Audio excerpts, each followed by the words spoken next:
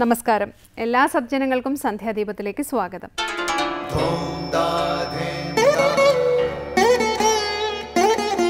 ശുഭം ഭവതു കല്യാണമായുസാരോഗ്യവർദ്ധനം. സർവദുഃഖവിനാശായ സന്ധ്യാദീപം നമോസ്തുതേ നാമം ജപായനം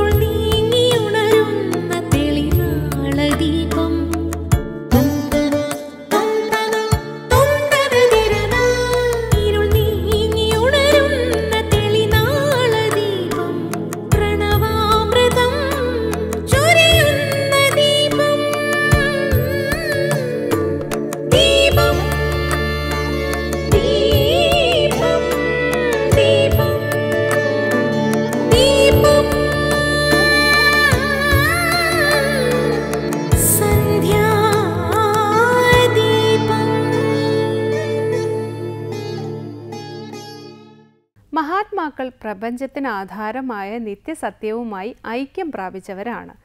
അവരെ സാധാരണ മനുഷ്യരെ പോലെ കരുതാൻ പാടില്ല. ഈശ്വരന്റെ പ്രത്യക്ഷ മൂർത്തികളാണ് മഹാത്മാക്കൾ. ഈശ്വരൻ സർവവ്യാപിയാണെങ്കിലും ആ ഗുണങ്ങൾ നമുക്ക് അനുഭവിക്കാൻ കഴിയുന്നത് മഹാത്മാക്കളുടെ സാന്നിധ്യത്തിലാണ്. കാറ്റ് എല്ലായിടത്തും ഉണ്ടെങ്കിലും അതിന്റെ കുളിർമ അനുഭവപ്പെടുന്നത് വൃക്ഷച്ചുവട്ടിലാണ്.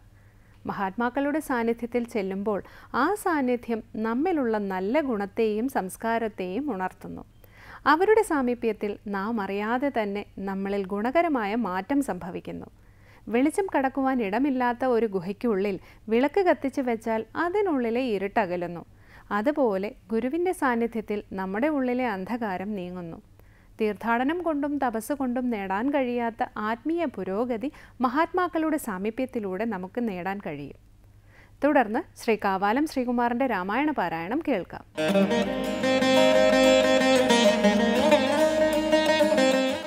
ചെന്നള കാപുരി ഗോപുരം പുക്കിതു സന്നദ്ധനായെടുത്താൻ ദശവക്ത്രനും തോരണമൂരിയടിച്ചാനതു നേരം ഘോരനാം ഭാസ്കര ഭാനു ദശാസ്യനേ പൗലസ്ത്യനുമതു കൊണ്ടു വീണീടിനാൻ ആലസ്യവും തീർന്നവനുമനന്തരം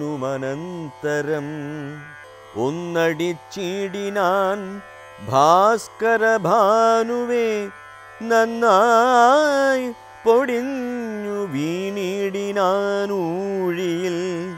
എന്നതു കണ്ടു ഭയത്തോടുമോടിനാർ നിന്ന യക്ഷന്മാരതു കണ്ടനന്തരം മാണീവരനായ യക്ഷകുലാധിപൻ മാന്യവരൻ നിജസൈന്യമായുള്ളതിൽ നാലായിരം പടയോടുമടുത്തതിലായിരത്തെ കൊല ചെയ്താൻ മഹോദരൻ. ആയിരത്തെ കൊല ചെയ്താൻ പ്രഹസ്തനും രണ്ടായിരവും ഒടുക്കിനാൻ മാരീചനുണ്ടായ കോപാലടുത്തിതു യക്ഷനും. ധൂമ്രാക്ഷനും മുസലം കൊണ്ടെറിഞ്ഞിതു താമ്രാക്ഷനായ മാണീവരനന്നേരം. ധൂമ്രാക്ഷനെ ഗത കൊണ്ടെറിഞ്ഞിടിനാൻ. വന്മല വീണ പോലെ പതിച്ചാനവൻ. അപ്പോഴതു കണ്ടുടൻ ദശാനനൻ. കെൽപ്പോടു വേലയച്ചാൻ മഹായക്ഷനും മാറിടത്തിങ്കലതേറ്റു ദശാനനൻ.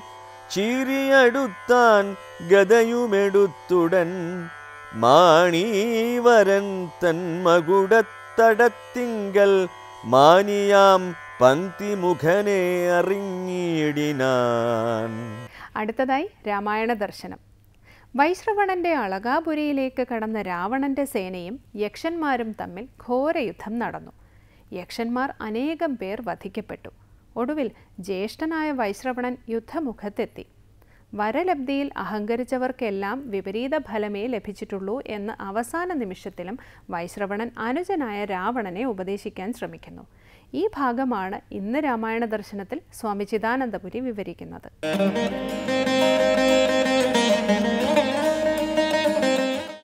യക്ഷന്മാർക്കടയ്ക്കും രക്ഷസുകളിടയ്ക്കും ഘോരമായ യുദ്ധം നടക്കുകയാണ്. അവസാനം മരീചനും ഒരു യക്ഷശ്രേഷ്ഠനുമായിട്ടുള്ള യുദ്ധത്തെ പറഞ്ഞു തുടർന്ന് ചെന്നളകാപുരി ഗോപുരം ബുക്കിതു സന്നദ്ധനായടുത്താൻ ദശവക്ത്രനും തോരണമൂരിയടിച്ചാനതു നേരം ഘോരനം ഭാസ്കര ഭാനുദശാസ്യനെ പൗലസ്ത്യനും അതു കൊണ്ടു വീണിടിനാൻ ആലസ്യവും തീർന്നവനുമനന്തരം ഒന്നടി ചീടിനാൻ ഭാസ്കര ഭാനുവെ നന്നായി പൊടിഞ്ഞു വീണാനവനൊഴിയിൽ എന്നതു കണ്ടു ഭയത്തോടു മോടിനാർ നിന്ന യക്ഷന്മാരതു കണ്ടനന്തരം. മാണിവി മാണിവരനായ യക്ഷകുലാധിപൻ മാന്യവരൻ നിജസൈന്യമായുള്ളതിൽ. നാലായിരം പടയോടുമടുത്തതിലായിരത്തെ കൊല ചെയ്താൻ മഹോദരൻ. ആയിരത്തെ കൊല ചെയ്താൻ പ്രഹസ്തനും രണ്ടായിരവും ഒടുക്കിനാൻ മാരീചൻ ഉണ്ടായ കോപാലടുത്തിതു യക്ഷനും. അളകാപുരി ഗോപുരത്തിലേക്ക്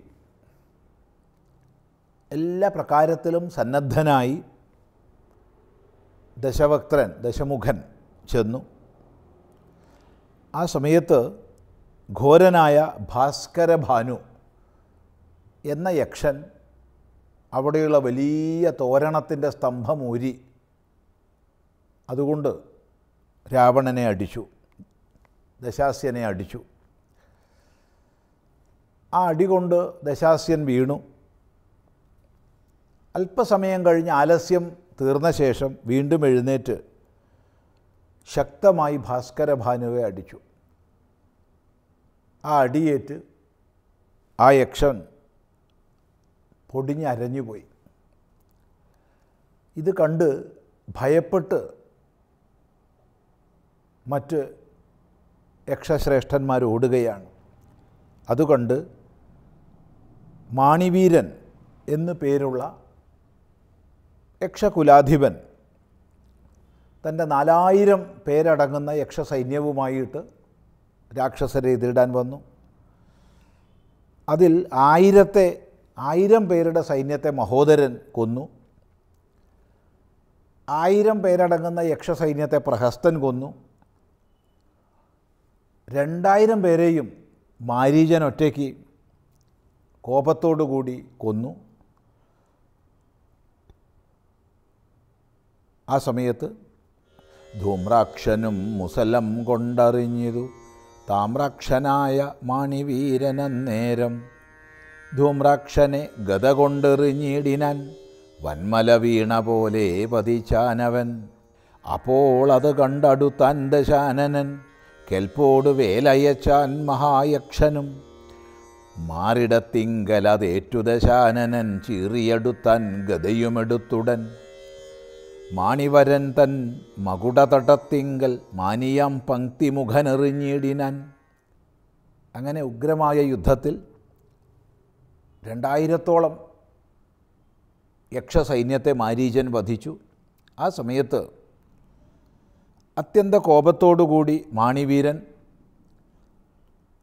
ധൂമ്രാക്ഷനുമായി ഏറ്റുമുട്ടി. വലിയ മുസലം കൊണ്ട് ധൂമ്രാക്ഷനെ എറിഞ്ഞു.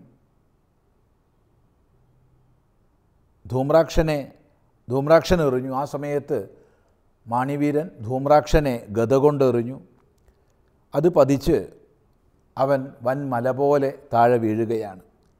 ധൂമ്രാക്ഷൻ വീണത് കണ്ട് ദശാനനൻ വലിയ വേലെടുത്ത് മാണിവീരന് നേർക്കയച്ചു. വേൽ യക്ഷനും അയച്ചു തിരിച്ച്. അതേറ്റ് ദശാനനൻ അട്ടഹസിച്ചുകൊണ്ട് ഗതയെടുത്ത് മാണിവീരന്റെ അടുത്തേക്ക് ഓടി അടുക്കുകയും കിരീടദേശത്തെ നോക്കി അടിക്കുകയും ചെയ്തു. അങ്ങനെ അയാളുടെ കിരീടം ചെരിഞ്ഞുപോയി പാർശ്വകിരീടൻ എന്ന പേരും വന്നു.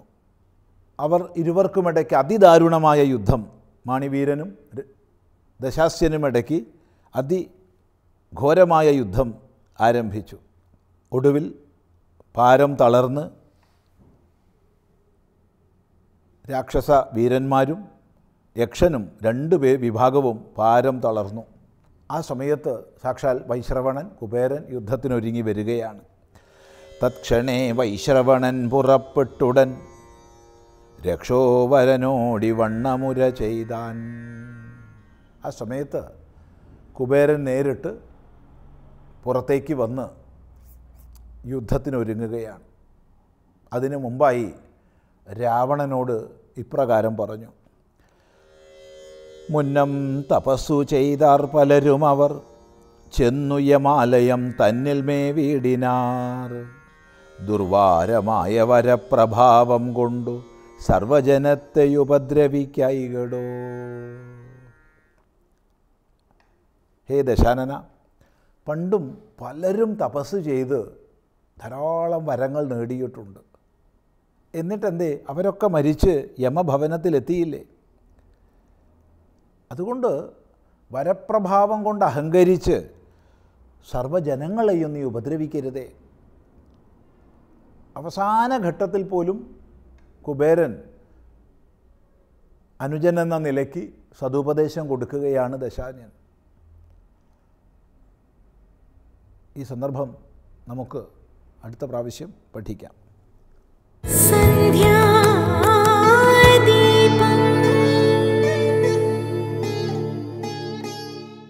അടുത്തതായി സനാതനധർമ്മമാണ്. ഇന്ന് സനാതനധർമ്മത്തിൽ സ്വാമി സാന്ദ്രാനന്ദയുടെ സനാതനധർമ്മ തത്വവിചാരം കേൾക്കാം.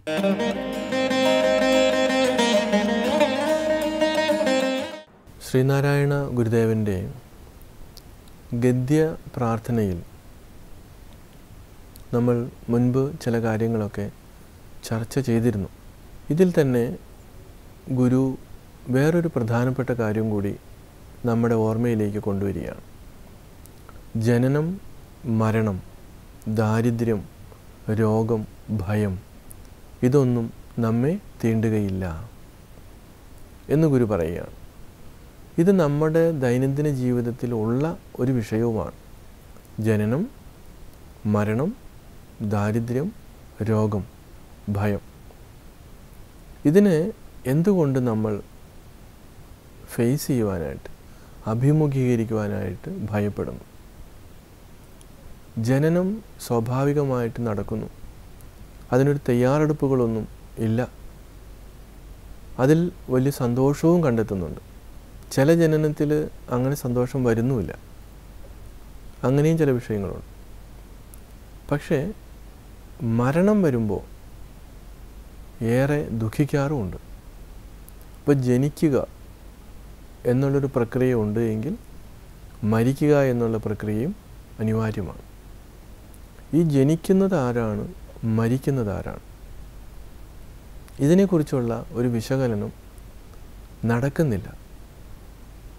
അങ്ങനെ ചിന്തിക്കാൻ തുടങ്ങുമ്പോൾ അവിടെ ശരിക്കുള്ള ആധ്യാത്മികത തുടങ്ങി തുടരുകയായി. അപ്പോൾ ഒരു കുഞ്ഞു മരിച്ചാലും ഒരു പ്രായമുള്ള ആൾ മരിച്ചാലും എന്തുകൊണ്ടാണ് അതങ്ങനെ സംഭവിക്കുന്നത്?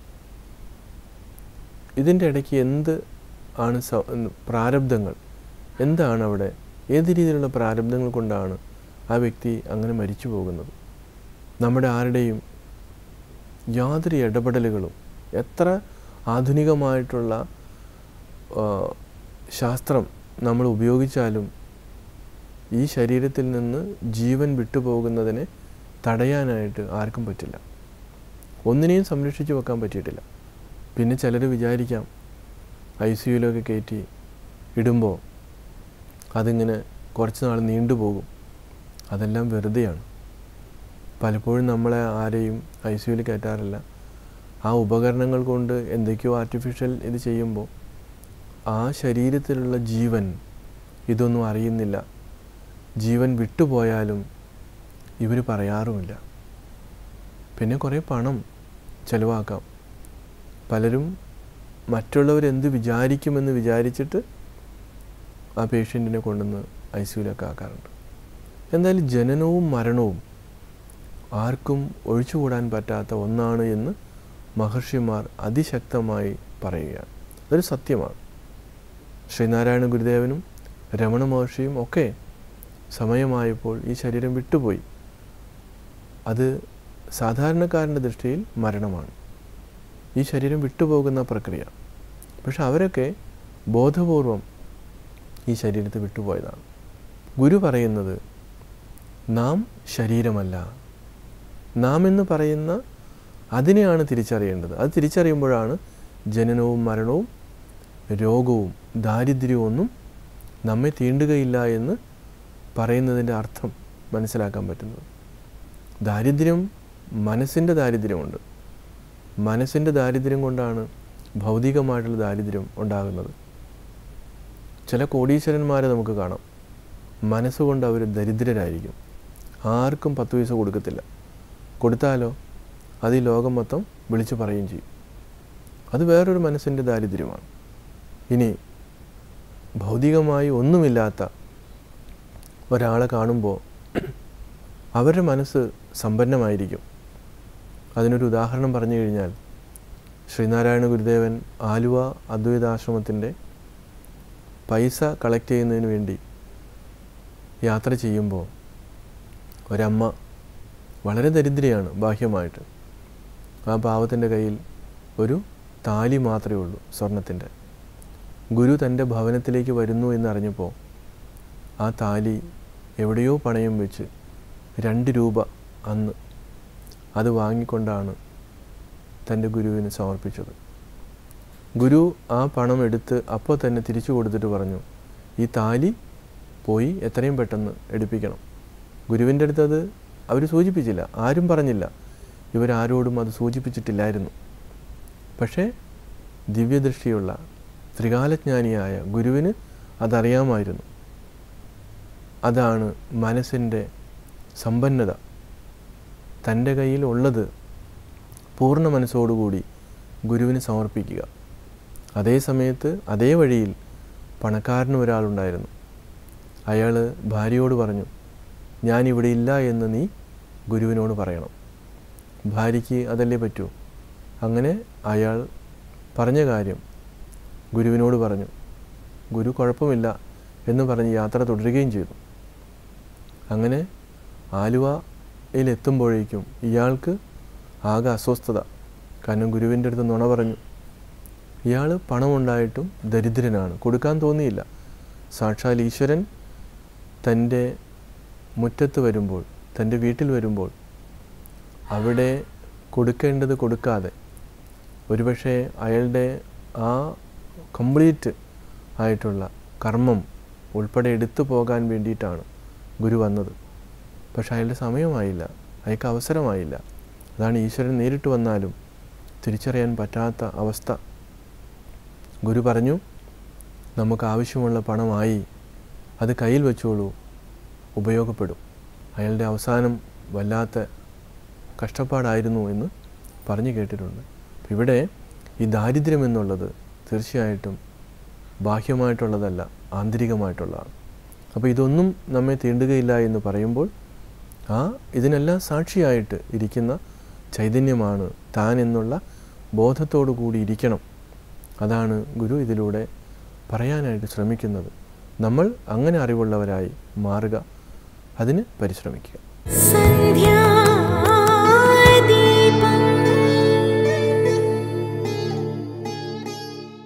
അടുത്തതായി ദീപാരാധനയാണ് ക്ഷേത്ര സന്നിധിയിലെത്തി മംഗളാരതി തൊഴുത് ഇന്നത്തേക്ക് മടങ്ങാം.